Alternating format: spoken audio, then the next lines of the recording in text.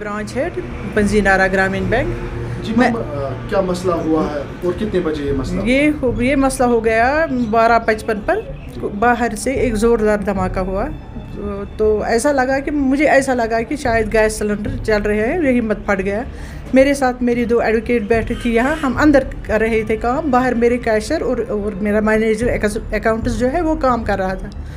तो एक बंदा मेरे कैबिन में आया तो उसने बोला, कैश दे दो। मैंने बोला, मुझे कैश के साथ कोई वास्ता नहीं होता। मैं मैनेजर हूँ यहाँ की, मुझे दूसरे काम देखने होते हैं। तो वो अंदर वो उनके पास गए, मेरे कैशर और मैनेजर के पास। जो भी उनका कैश था, वो लूट गए और जो अंदर सेफ़ में पड़ा था, वो भी लूट गए। तो हमने अकॉर्डिंगली हमने एस एच ओ को फ़ोन फ़ोन किया और उन्होंने रिकॉर्ड कर दिया अपना स्टेटमेंट और वो वो जो भी उनका गिरा था, जिसको फायर निकलता है तो वो अपने साथ उसको उठा के लिए सब के लड़के थे जवान लड़के थे और सब मैं मैंने तीन को देखा ब्रांच के अंदर।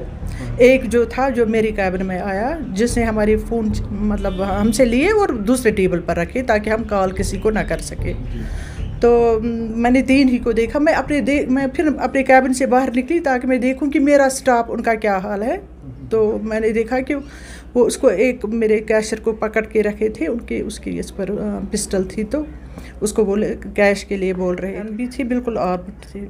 अच्छा मैम कितना पैसा उन्होंने यहाँ से अब मुझे पता क्योंकि मुझे इसके साथ डायरेक्टली डील नहीं होता है। मैं सिस्टम हम शाम चार बजे बंद करते हैं उसी वक्त हमें पता चलता है कि अब इस वक्त अ, चूँकि अफरा तफरी के इसमें हमारा हमारा काम ठप हो गया तो ये बोल रहे हैं कि दो lakh to forty two lakhs का एक जैसा था। मुझे नहीं लगा कि कुछ कुछ लगा कि ज़ोरदार अचानक कुछ हो गया। जो मतलब जो हमारी जो नॉर्मल रूटीन होती है वो नहीं होता है कभी भी ऐसा कि मैंने सोचा शायद कुछ हुआ हमें अंदर कुछ प्रॉब्लम हो गई गैस में तो फट गए। तो जब बाहर देखा तो वहाँ वो गिरा हुआ नहीं। नहीं हमारा यहाँ सीसीटीवी कैमरा नहीं है और सिक्योरिटी गार्ड भी नहीं है।